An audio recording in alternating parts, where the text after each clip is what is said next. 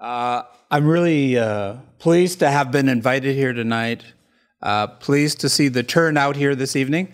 I understand this is being uh, webcast, so I hope there are a lot of British Columbians or perhaps uh, uh, people further afield that are watching and listening in tonight.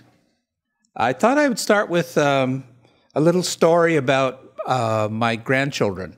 I have three, but each and every August, the two boys, they're the older of the three, the set of three grandchildren. They live uh, six months of the year in the Yukon, sometimes on a trap line. And uh, in the, uh, the other six months of the year, they live in Colombia. And uh, their parents own a hostel in Colombia and a hotel, but they do spend uh, six months of the year in the Yukon. One of them is uh, the elder of the, the children, is my grandchildren, is a, is a bright little guy. And when he's with me, because I'm busy, uh, I'm an author of many, the many things I've done. I've authored a book, co-authored a book with a Vancouver writer, a former reporter with the Vancouver province, Suzanne Fournier. It's called Stolen from Our Embrace. It's about Aboriginal families and children and communities and the issues that are there it's become standard fare in most schools of social work. I think in many parts of Canada, uh, where there are uh, uh, social work programs or counseling programs, and there's an Aboriginal component, and they need literature, they need information to share with the students for the students to examine and study. Any event, any event, these materials are always sitting around my my townhouse in Chilliwack, and when I have uh, my two grandsons down with me, the elder of the two, Elias, is uh, one to sort of comb through things. And one day I noticed that he seemed to be quiet and he seemed to be sort of looking uh, intently at one uh, page in a report that I had left sitting beside my computer. He said, Hey, Grandpa, I have an observation for you. And I said, Oh, you have an observation for me. He's like uh, 10 years old. And I said, What's your observation, Elias? And he said, um, I hope you don't mind me saying, but you're old for an Indian. and uh, I looked down at him and I said, Oh, yeah. Well, what makes, what makes you say that? And he said, Well, I'm going through this information, and it says that Aboriginal males, uh, on average, live uh, seven to nine years uh, nine fewer years than uh, their counterparts in the larger community. And uh, I said, Oh, you've, okay, well, let me see that. And we looked at it together, and I, I thought he might have been worrying. So I said, So, what about that information concerns you, Elias? And he said, Well, um, you're 67 now, Grandpa. And um, let's put it this way I hope that you live as long as non Aboriginal males. I hope you live as long as they do, that you don't leave us seven to nine years earlier than other grandpas, you know, leave their grandchildren. And so he's learning. and I thought that was touching, and I also thought it was amusing. And I shared it online on Twitter and Facebook, and I got a lot of, uh, or his comments rather, got a lot of laughs, uh, chuckles, and the like. But um, even for someone as young as him and a young Aboriginal boy, he's uh, now alive to this issue. Not as fully alive as some of us in the room because we're adults, and certainly not as fully alive as uh, Dr. Jones, but who's an academic and uh, who has, thankfully, I must say, paid uh, very close attention, perhaps most, uh, more than any other uh, person from academia that I'm personally aware of anywhere in Canada, and I do a lot of reading. I read on average a, one or two books every day. Most of them are nonfiction, but some, some books I read for, for purely amusement and entertainment. But I read a lot of nonfiction, and a lot of it is uh, academic studies of one type or another. And I was happy to discover there was someone around uh, like Dr. Jones. And he came to my attention of course, through the news media. And what better way? And often as Canadian, that, Canadians, that's how we learn about important research, even if it's the beginnings of important research about important aspects of our society. And uh, Dr. Jones has uh, cast a strong beam of light on what I regard as a very important issue. Now, look, I'm 67 years old.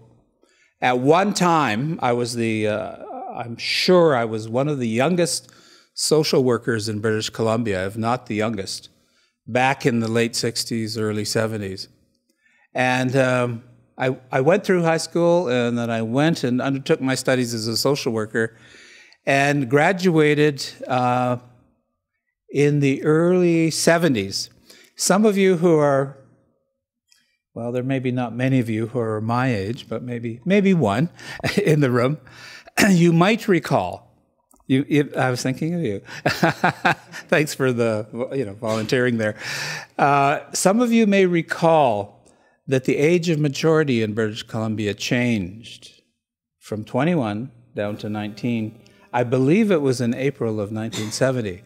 I was prepared to be a social worker before that date arrived. And um, when I went to what is now called the Ministry of uh, Children and Family Development in Kamloops and said, Well, I've graduated and I'm a social worker, at least academically. Uh, would you hire me? And they looked at me and they said, We'd uh, love uh, nothing better than to hire you, Ernie. But here's our problem you're one of ours, meaning that I was still in government care. Remembering, remember, you were a, ch a child till you were 21 back then. And uh, more than that, um, you're not, you haven't attained the age of majority yet. So go away, and when you attain the age of majority, 21, come back and we'll hire you straight away. Well, things happened very fast, and within a few months, the age of majority went from 21 down to 19. So, of course, I jumped in my Volkswagen Beetle, you know, the people's car, and made, a, made my way over to Tranquille Road in Kamloops and said, Well, I'm back. and guess what? I'm, a, I'm an, an adult now and a qualified social worker. Will you hire me?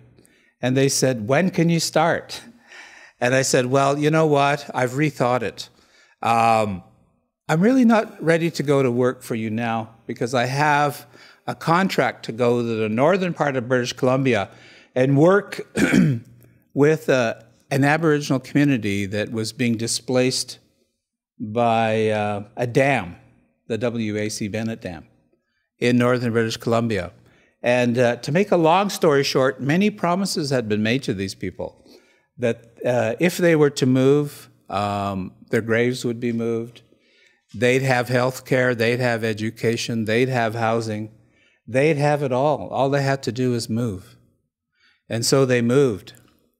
But what they didn't realize is that people like that, uh, people who are from remote places, uh, uh, don't have the sort of, as it were, ur urbane, uptown sophistication uh, to look after themselves not having some of the basic knowledge that most Canadians just routinely have at their uh, disposal, their fingertips.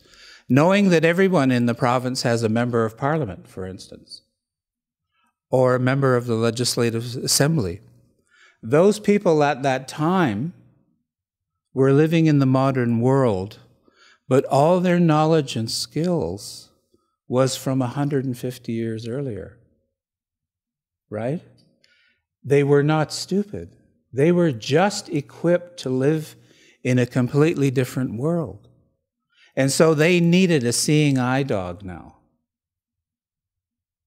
They needed somebody who knew about what white people do, uh, how they make decisions, who's in charge, how you make them do things. And they remembered me from the year earlier that I was when I was doing a demographic survey. So through the RCMP, they invited me to the north, and I went up there.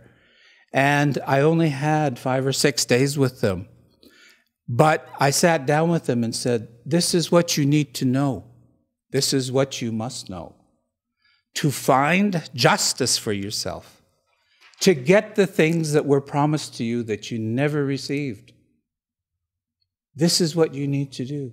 Do you know who your member of parliament is? Mem- member what? member of parliament? What's that? Do you know who your MLA is?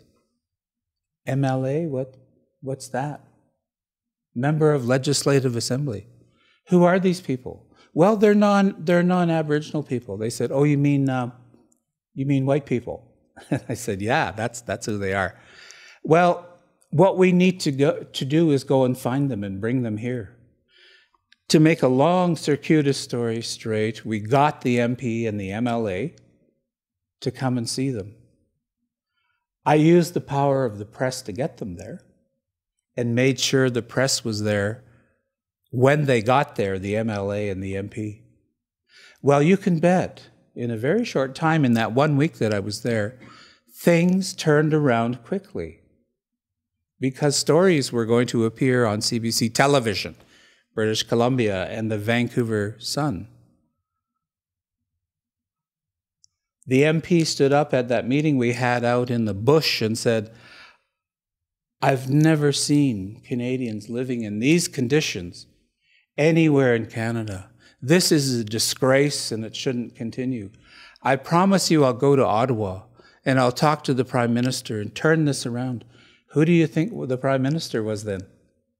Trudeau. Exactly. Trudeau Sr. And that MP kept his promise, and so did the MLA. So the Department of Indian Affairs, the provincial government officials, and others that had to know about these people to do their job, they now had that information about these people. And they knew what their job was. And if they weren't prepared to do their jobs, the Vancouver Sun and CBC Television News was going to talk about how they weren't prepared to do their jobs. What do you think they did? They did their jobs. Now, I don't know how many more minutes I have. Please signal me uh, when I'm taking too much of your, your precious time. I know it's precious. I don't mean that in any way sarcastically. I know all of us are busy, all of us have a limited amount of time.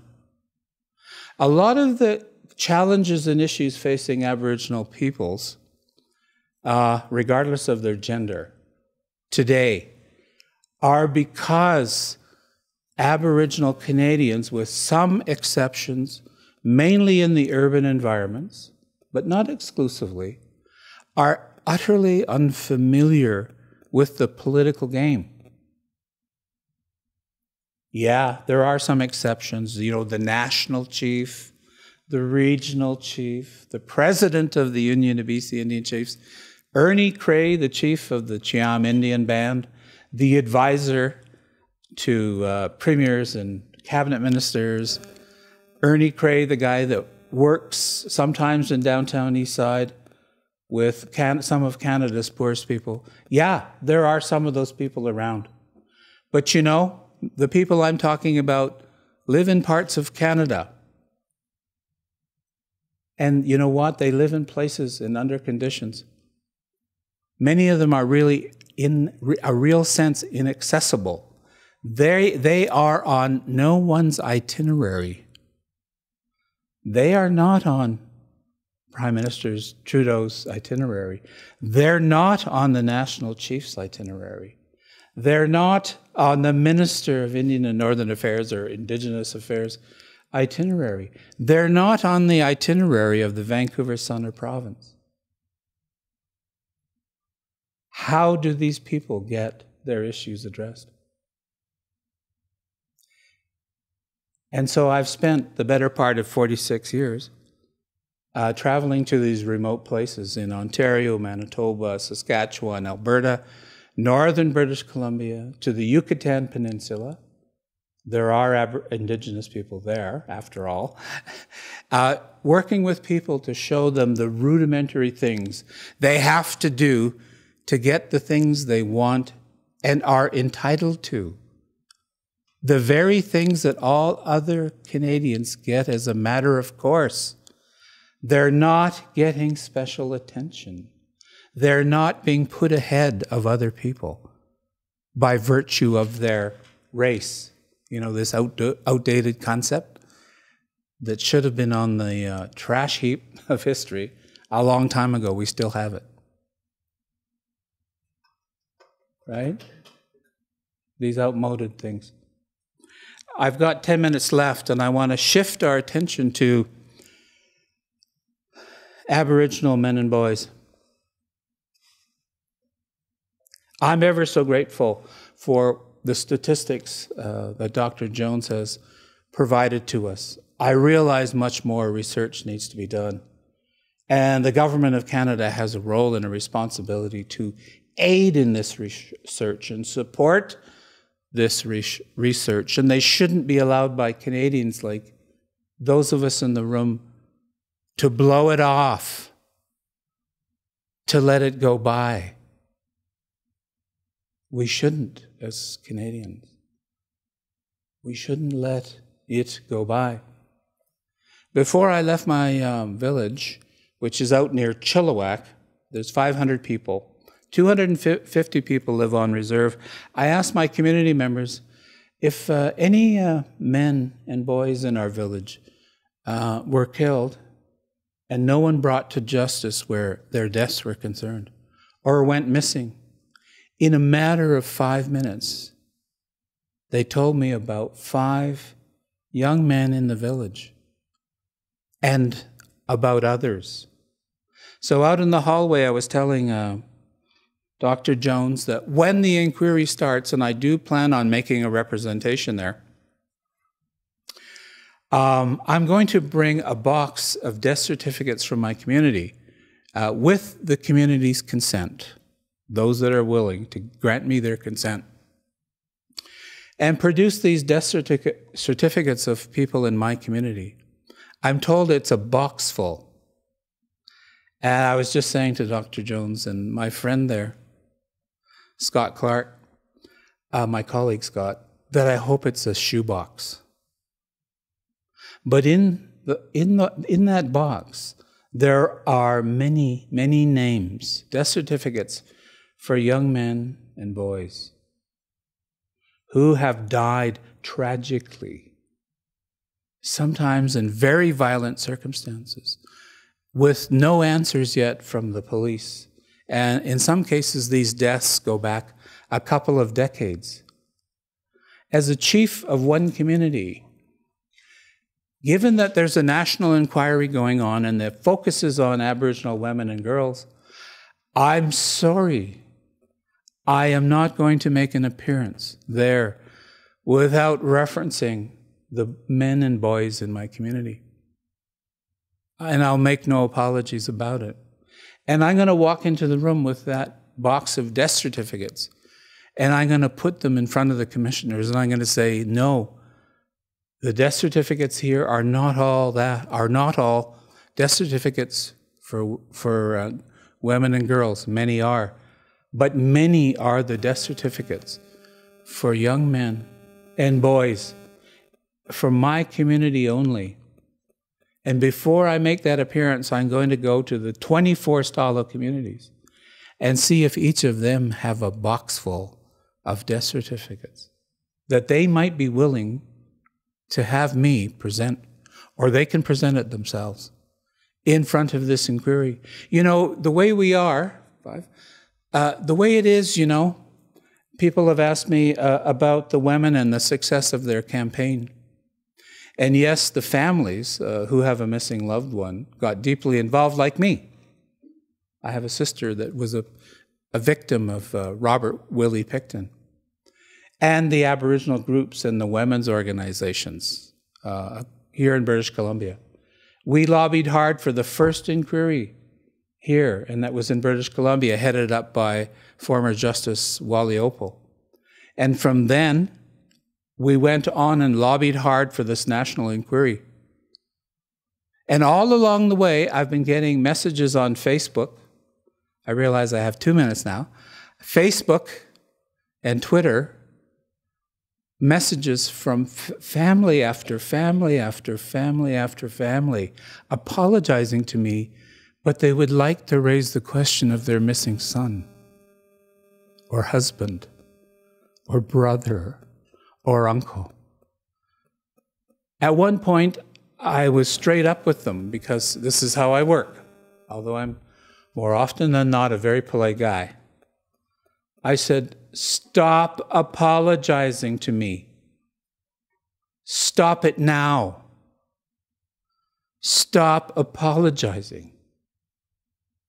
You have every right to be indignant, to feel overlooked, to feel that no one is listening to you as parents. Do not apologize. Don't apologize to me. You need to stand up. You need to be counted. In our communities, we believe in spirits, spirits of people. And I've told my people and other Aboriginal peoples around British Columbia to put the spirits of your brothers, your dads and uncles at peace because they're crying out to you. You need to stand up and be counted for them. You need to insist that this young prime minister, with the world's uh, best intentions, and his cabinet, and his minister of Indigenous and Northern Affairs, in an unapologetic way, that you want Aboriginal men and boys to be incorporated, to be included in this inquiry. Why? because there's not going to be another inquiry like this for another generation or more. We can't afford to wait that long. Canadians who want to see justice done, Aboriginal Canadians who want to see justice done, need to learn to stand up and stop being so damn Canadian.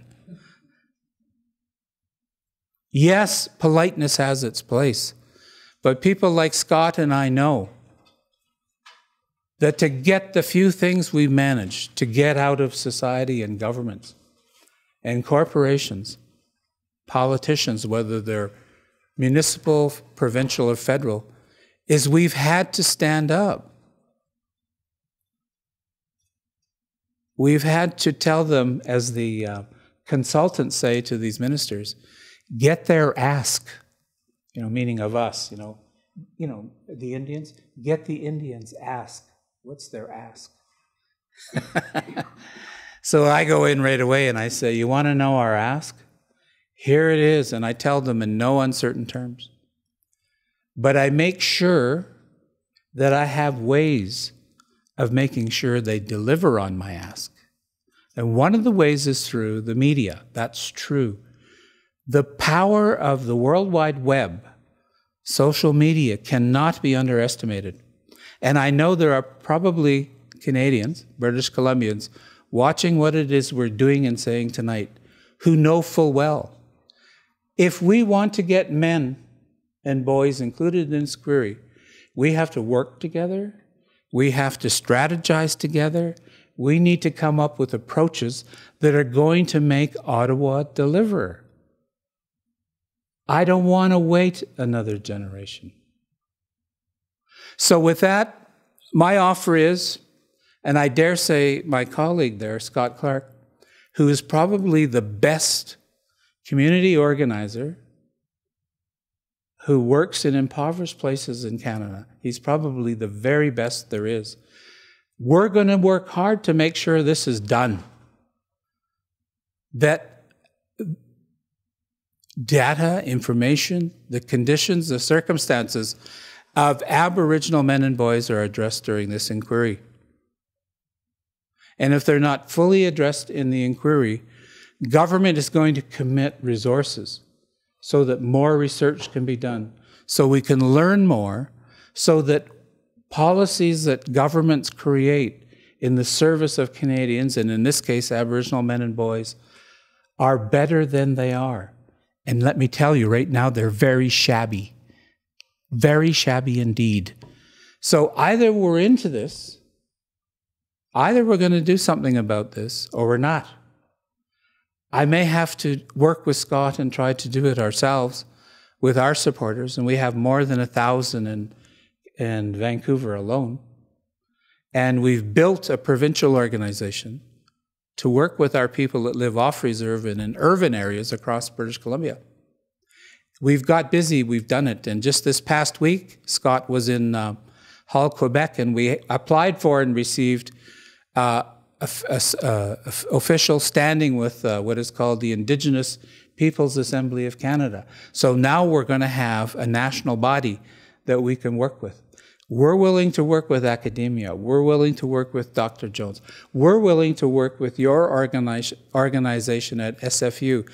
I've already started working with Stand Canada. They invited me out in January to UBC. This is the international uh, youth group that fights against genocide around the globe. They had me come out to say, What can we do, Chief Crey, in Canada? And I and if you want to know what I told them, word for word, it's on YouTube. When I spoke to them out at UBC. And I gave them insights uh, into the work I've done in the past and how it is that I get these things done. Not alone. I do have colleagues like Scott and, and others. So, with that, let us uh, tonight commit ourselves to making these changes working together on making these changes and making people snap to attention. Why? It's a democracy. this is not Russia, ladies and gentlemen. It's not Syria. No one's going to come and shoot us for speaking out. We're free to do these things. We're free to have these opinions. We're free to make the demands that we want. We pay the bills. it's up to us. So, with that, I, um, I want to thank you uh, again for inviting me here this evening. When I make a commitment to work with groups, I follow through, and so does my colleague there, Scott Clark. We work together and we follow through on the commitments we make. So we're committed to make this change for men and boys. And it's uh, a lot of issues around men and boys yes, for Aboriginals, but uh, men and boys generally across the society. Uh, if I'm ever invited, invited back, I have much more to tell you, but I think perhaps that, that's enough for this evening. So, once again, thank you so kindly for having me here this evening.